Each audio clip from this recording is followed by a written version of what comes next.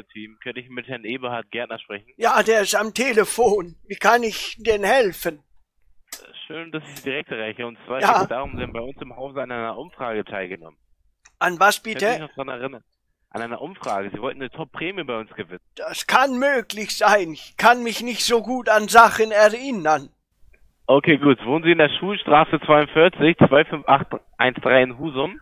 Ja, ja länger schon. Okay, Ihr Geburtsdatum ist der 20. April 1945, ist das richtig? Ja, wieso fragen Sie das? Gut, dann haben Sie eigentlich schon alles ausgefüllt. Ich frage, weil Sie ähm, bei uns halt an der Umfrage teilgenommen haben und ich muss wissen oder sicher gehen, dass Sie das wirklich sind. Ja. Kön Ähm. könnt, könnt Sie ein bisschen langsamer sprechen? Ich habe das jetzt nicht verstanden. Na, ich rede jetzt langsamer. Ja, danke Also, Herr- schön. Also, Herr Gärtner, Ja. ich bräuchte jetzt noch die Kundennummer und Ihre Zählernummer von Ihrem derzeitigen Energieversorger. Dann könnte ich Ihnen eine Top-Prämie zusichern. Und was hat das jetzt mit dem Gewinnspiel zu tun? Das ist kein Gewinnspiel, das ist eher, also Sie wechseln und wir sichern Ihnen eine Top-Prämie zu. Das, Ja, also, das ging ja da im Prinzip, wenn ich mich richtig erinnere, sollte ich ja im Prinzip Produkttester von Milka werden. wie bitte, was? Was? Ja, da stand im Internet, man soll da Tester von Milka werden. Nee, nee, es geht hier bei uns darum, dass Sie äh, wechseln und dann eine Top-Prämie, also ein iPad oder ein iPhone oder ein Fernseher dazu holen können. Für eine einmalige Zuzahlung. Ein Fernseher kann man da auch gewinnen. Das ist kein Gewinn, Sie würden einmalig was dazu zahlen. Für den Fernseher würden Sie 29 Euro zahlen, einmalig nur. Das ist ja sehr günstig. Wo ist da denn der Haken? Ist das Ja, Hehlerware? müssen, Sie, müssen, Sie müssen erstmal zu Yellow wechseln, also Ihren Stromanbieter wechseln. Also zu Ihnen im Prinzip. Genau. Ja, und was soll das da kosten bei Ihnen? Wie bitte? Wie bitte? Was das soll das denn kosten bei Ihnen? Das muss ja, Ja, ich- besser ich weiß- für ich- mich sein. Ja, genau, ich weiß, ich weiß ja nicht, wie viel Sie bei sich momentan zahlen. Müssen Sie mir jetzt sagen. Ja, das, ich meine so f- 65 Euro. Mit wie vielen Leuten wohnen Sie im Haushalt? Wie bitte? Mit wie vielen Leuten wohnen Sie denn im Haushalt? Also wir haben ja sieben Mietparteien im Haus, aber die haben ja mit meinem Strom nichts zu tun. Okay, also wohnen Sie alleine. Ja, ja, halt die Katze noch, aber die, die zählt da ja nicht. Eben. Genau. Da gucke ich einmal. Wie heißt denn Ihr derzeitiger Stromanbieter? Wie bitte? Wie heißt denn Ihr derzeitiger Stromanbieter? Ja, das, das wechselt öfter mal. Als ich das letzte Mal da war, da hab ich nach den Herrn Frommeier gefragt und jetzt ist das der Herr Stromer. Okay. Also der Sachbearbeiter im Prinzip. Okay. Einen Ja. Moment, ich rechne das mal für Sie aus. Ja, wo- wollten Sie die Telefonnummer von Herrn Strohmann haben? Nee, alles gut. Ach so, hab ich das falsch verstanden. Sie, Sie würden bei uns 59,62 Euro zahlen. Also für, für den gleichen Strom. Wie bitte? Für das, also ja, für die gleiche Menge im Prinzip. Wie viel, wie viel bekommen Sie denn bei Ihrem anderen Stromanbieter? Ja, also bisher ist das noch nie ausgegangen. Also es hat immer Ja. ausgereicht. Ja klar, bei uns wird das auch ausreichen. Das ist wunderbar, weil, weil ohne Strom ist ja nicht so gut im Prinzip. Gut. Ähm, haben Sie denn die Kundennummer oder die Zählernummer da, beziehungsweise beides? D da, Nochmal bitte. Haben Sie denn die Kundennummer und Zählernummer bei sich? Konto? Kontonummer Kundennummer, Kundennummer von Ihrem derzeitigen Energieversorger. von Stadtwerken. Genau. Da müsste ich nachgucken. Das, das kann ich, das braucht man ja so selten. Das weiß ich nicht aus dem Kopf. Klar. Ja, Deswegen gucken Sie mal, ich habe Zeit. Lassen Sie sich Zeit, suchen Sie mal. das ist ja Okay? schon später. Nicht, dass ich Sie ja im Prinzip da aufhalte von wichtigen Nee. Sachen. Nee, nee. Ich habe Zeit. Alles gut. Ich werde nach, ich werde nach Stunden bezahlt. Was bitte? Ich werde nach Stunden bezahlt. Ist alles gut. Ich warte. Wie meinen Sie das jetzt?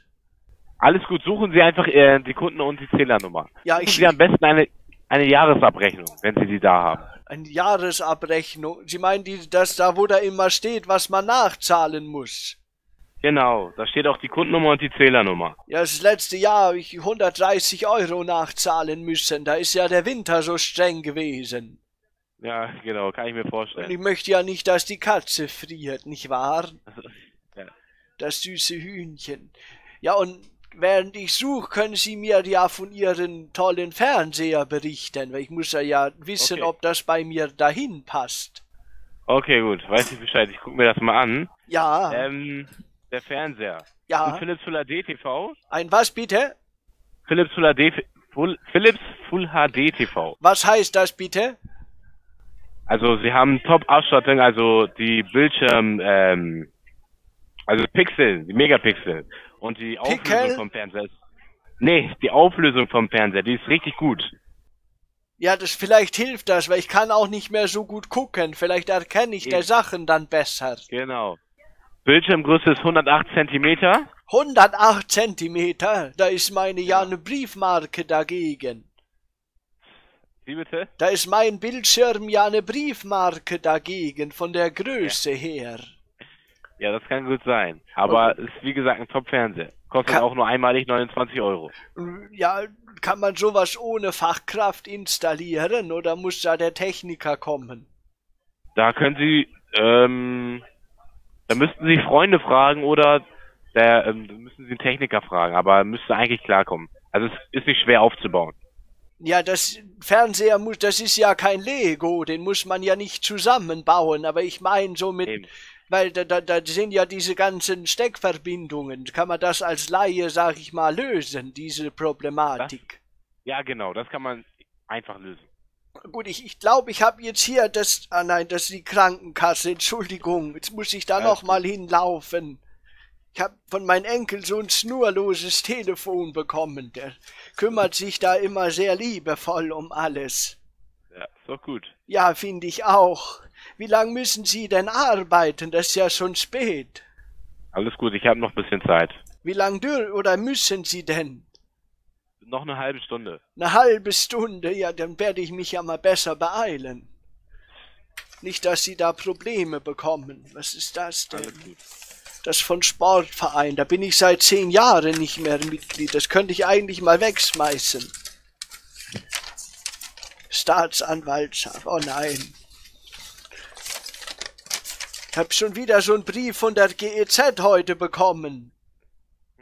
Und? Was ist bei rausgekommen? Naja, die, ich habe denen ja im Prinzip schon mehrfach mitgeteilt. Die wollen, die wollen Geld von, äh, von Rudi aus Buddeln haben. Das ist mein, mein Hund gewesen.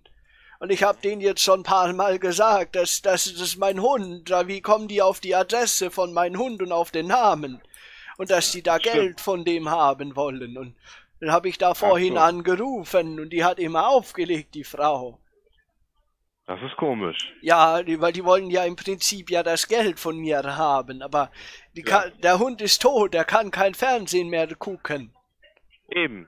Und er ist ja sonst auch, glaube ich, nicht beitragspflichtig gewesen.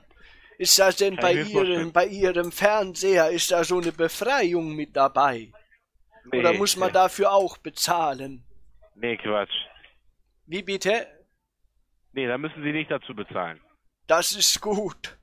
Das ist sehr, was, was gäb's denn außer ein Fernseher noch? Nur mal so rein aus Interesse.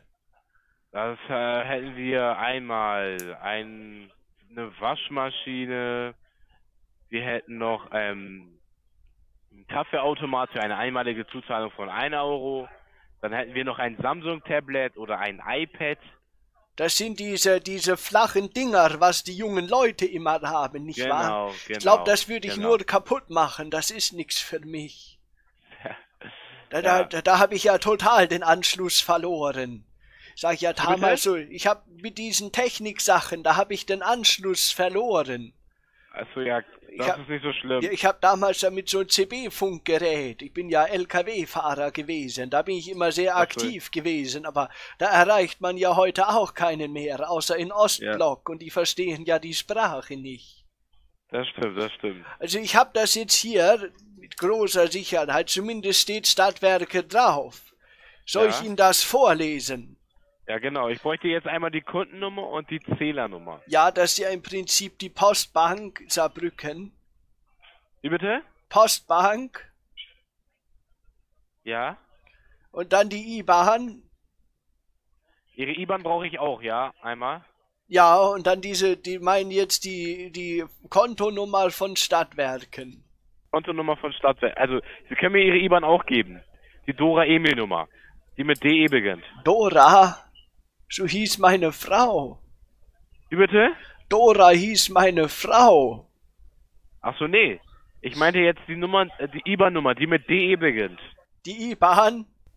Ja, genau. Ja, einen Moment. Das ist ja wieder eine ganz andere Sache.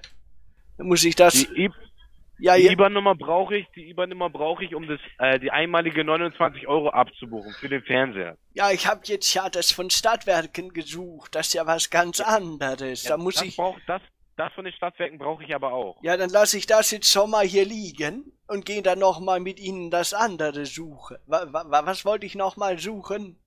Die IBAN. Ja, genau. Vielleicht sollte ich mir das aufschreiben. So, dann wollen wir mal gucken. Ist bei Ihnen auch so heiß heute? Ja, Wo, schwül hier. wo sitzen Sie denn? In Hamburg. In Hamburg? Ist da, ist da nicht das Meer dabei? Wie bitte? Ist bei Hamburg nicht das Meer dabei? Nee, leider nicht. Das, das ist ja schade, sonst hätte man sich da ja abkühlen können. Hm, Also Hier, hier im Schwarzwald ist da, da ist ja so ein Talkessel und wenn das da mal heiß drin ist, das kann ja nirgends hingehen. Das Ja, bleibt das dann über Wochen lang so. Die haben ja schon versucht, das über Tunnel abzuleiten, aber das funktioniert nicht. Also, die IBAN, ja? Genau. Opa, mit wem redest denn du da? Da ist ein junger Mann von Stadtwerken wegen Strom und ich krieg sogar noch einen Fernseher. Was kriegst du? Ja, ich krieg so einen Fernseher. Gib mir den mal. Hallo? Hallo, schönen guten Tag. Ja, hallo, wer ist da? Was, was macht mein Opa denn gerade mit Ihnen? Ähm, der wechselt seinen Stromanbieter. Tut er das? Ja. Wie kommt das denn? Er hat bei uns an einer Umfrage teilgenommen. An der Samsung Umfrage. Galaxy.